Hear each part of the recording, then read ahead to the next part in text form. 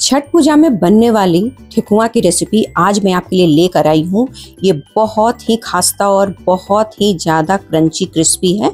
ये छठ पूजा में हर घर में बनता है और इसको प्रसाद के रूप में लोग ग्रहण करते हैं और इसको ठेकुआ कहते हैं। आप इसको क्या कहते हैं, मुझे कमेंट कर कर ज़रूर बताइएगा।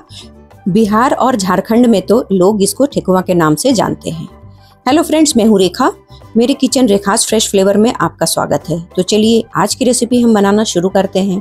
तो ठेकुआ बनाने के लिए हमने यहाँ पर ले लिया है दो कप गुड़। ये वज़न से देखा जाए तो ये 400 ग्राम गुड़ है। इसमें हम डाल देंगे डेढ़ कप पानी। और अगर आपको जल्दी बनाना हो तो थोड़ा सा गर्म पानी डाल दीजिए और 10 मिनट में ये रेडी हो जाएगा। अगर आपके पास टाइम है तो 30 मिनट के लिए इसको छोड़ दीजिए।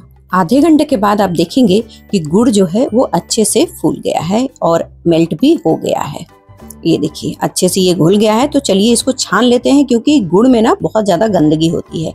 तो किसी भी चीज़ में डालने से पहले अगर आप भिगो रहे हैं तो उसको छान कर ही डालें। तो देखिए, हमने इसको छान लिया है और ये देखिए, इतना सारा इसमें से कचरा निकला है तो इसको हम अलग कर देंगे। अब ठेकुआ बनाने के लिए हमने यहाँ पर तीन कप आटा ले लिया है। गेहूँ का आटा है ये आप चाहें तो मैदा से भी बना सकते हैं। अब इसमें टेस्ट के लिए हमने यहाँ पर डाल दिया है तीन बड़े चम्मच कटा हुआ सूखा नारियल, साथ में डाल देंगे डेढ़ चम्मच सौंफ और एक चम्मच क्रश किया हुआ इलायची। इससे फ्लेवर बहुत ही अच्छा आता है और मोयन के लिए डाल देंगे वन थर्ड कप घी। ठेकुआ बनाते समय ना तेल का इस्तेमाल ना करें।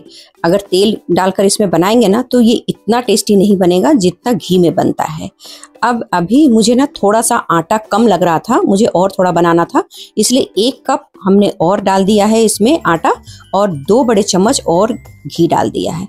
अब अच्छे से इसको हमें मिला लेना है। बहुत अच्छे से पूरे आटा और घी को मिला लेंगे और मुट्ठी बाँध कर देखेंगे। अगर मुट्ठी अच्छे से बंध रही है ना तो ये परफेक्ट है, बिल्कुल परफेक्ट है ठेकुआ बनाने के लिए। और ये देखिए मुट्ठी बंद रहा था तो ये बिल्कुल रेडी है। लेकिन और इसमें ज़्यादा अच्छा टेस्ट के लिए ना, डाल देंगे ढाई चम्मच चीनी। वैसे बिल्कुल ऑप्शनल है, आप चाहें तो डाल सकते हैं, लेकिन चीनी थोड़ा सा डाल देने से ना, ठेकुआ बहुत ही ज़्यादा अच्छा बनता है। तो ये देखिए, ये आटा जो है, वो तैयार है। अब जो गुड़ का पानी हमने रेडी करके रखा था, वो पानी को डालेंगे और आटा को लगाएँगे। थोड़ा थोड़ा डालते जाएँगे और लगाएँगे। थोड़ा सा सख्त आटा यहाँ पे तैयार करना है। बिल्कुल मुलायम आटा अगर हम तैयार करेंगे तो ठेकुआ जो है, वो अच्छा नहीं बन पाएगा। और दोस्तों, आप चाहें तो इसको ना मैदा से भी बना सकते हैं, लेकिन मैदा में ये गुड़ का इस्तेमाल नहीं होगा। आप इसकी जगह पे चीनी डालकर बना सकते हैं। चीनी को चाहे तो आप घोल लें पानी में, या तो डायरेक्ट आटा में डालें और बना लें। वो उससे भी बहुत ही अच्छा टेस्ट आता है। अब ये देखिए, आटा हमारा रेडी हो गया है तो इस तरह से हम छोटे छोटे पेड़े बना लेंगे। जितने बड़े साइज़ का आपको ठेकुआ बनाना है, उसी हिसाब से आप इसके पेड़े तैयार कर लें। और इतने आटा में हमने सारे पेड़े को तैयार करके रेडी कर लिया है। और ये देखिए, हमने सारे पेड़े को तैयार करके रेडी कर लिया है। तो चलिए, अब हम ठेकुआ बनाते हैं। तो ठेकुआ बनाने के लिए एक, इसका मोल्ड होता है, एक जिसको बोलते हैं साचा। तो इस सांचे को लेकर हम ठेकुआ बनाएँगे, जिसमें ये जो डिज़ाइन बना है ना, जो हम ठेकुआ को प्रेस करेंगे इसमें तो सारा डिज़ाइन जो उसका है, वो उभर कर आ जाएगा। तो इस तरह से पहले ठेकुआ को रखेंगे और हाथों मतलब अंगूठे से दबाते हुए इसको प्रेस करेंगे। तो चारों तरफ़ से ये अच्छा होगा। अगर आप हथेली से डायरेक्ट दबाएँगे तो बीच में मोटा हो जाएगा और चारों साइड से पतला हो जाएगा। तो जब भी आप ठेकुआ बनाएँ तो इस तरह से ही बनाएँ। तो अच्छा ज़्यादा बनेगा और चारों तरफ़ से बिल्कुल इक्वल बनेगा। कहीं से मोटा और पतला नहीं होगा। और ये देखिए, हमने ये रेडी कर लिया है। अब आप सोचेंगे कि अगर सांचा ना हो तो कैसे बनाएँ? तो उसका भी उपाय मैं आपको बता रही हूँ। इस तरह से ले और हाथों से इसको दबा दें। अच्छे से दबाकर चारों तरफ़ से बिल्कुल एक जैसा लेबल कर दें, नहीं तो कहीं से मोटा, कहीं से पतला हो जाएगा। अब इस तरह से कोई भी ग्लास ले लें, कटोरी ले लें या फिर किसी डब्बे का ढक्कन लेकर इस तरह से डिज़ाइन बना दें। तो बन गया आपका ये डिज़ाइन और चाहे तो बिना डिज़ाइन का भी बना सकते हैं। तो इसी तरह से बनाकर सारा रेडी कर लें। अब इसको तलने के लिए हमें घी की ज़रूरत पड़ेगी। हम इसको तेल में नहीं तलेंगे।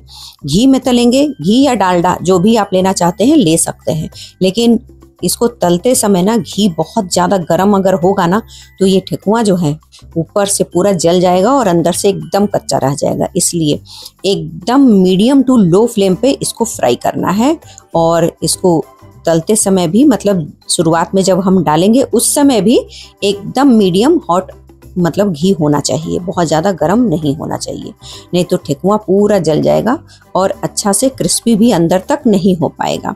तो चारों तरफ़ से धीरे धीरे हल्के हल्के हाथों से उलटते पलटते हुए, ये देखिए, बिल्कुल गोल्डन होने तक धीमी आँच पे इसको सेक लेना है और एक बार का हमने निकाल लिया है और इसी तरह से बाकी के सारे जो ठिकुए हैं, उसको बनाकर हम रेडी कर लेंगे।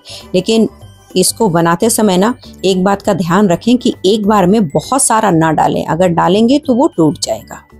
दोस्तों, मेरी रेसिपी अगर आपको अच्छी लग रही हो तो लाइक करें सब्सक्राइब करें। मेरे चैनल पे पहली बार हैं तो भी लाइक एंड सब्सक्राइब कर दें, क्योंकि ये बिल्कुल फ्री ऑफ़ कॉस्ट होता है। इसमें कोई चार्ज नहीं लगता कोई पैसा नहीं लगता। इसमें आपका कोई नुकसान नहीं होगा, लेकिन मुझे थोड़ा बहुत फ़ायदा हो जाएगा। तो ये देखिए, हमने यहाँ पर सारे ठेकुओं को बनाकर रेडी कर लिया है और इसमें कितने अच्छे से क्रैक्स आए हैं। ये जो ठेकुए में क्रैक्स दिख रहे हैं ना, इससे पता चल रहा है कि ये जो ठेकुआ जो है हमारा, वो कितना क्रंची और क्रिस्पी बना है। बहुत ही क्रंची देखिए, हाथ लगाते ही ये टूट जा रहा है।